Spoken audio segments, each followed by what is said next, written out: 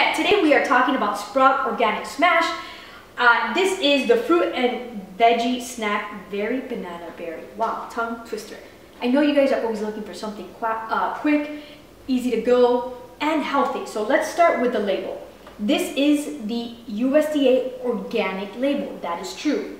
Uh, no concentrates, nothing artificial, good source of vitamin A and C, non-GMO.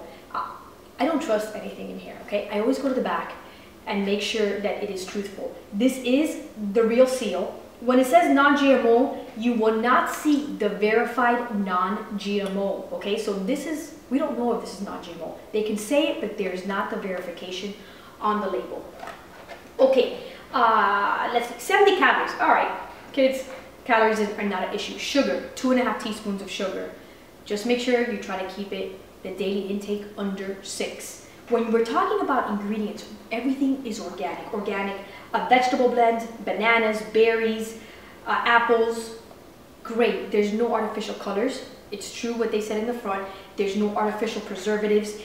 Vitamin C, you're going to get 70% of vitamin C and vitamin A, 30%. This is kind of like a winner, you guys. I, um, I can recommend it. Just know it's not GMO if you're searching for that. If not, it's a good pick. Uh, to pack in the lunchbox. So I hope that you enjoyed this review. Please feel free to share with your friends and family.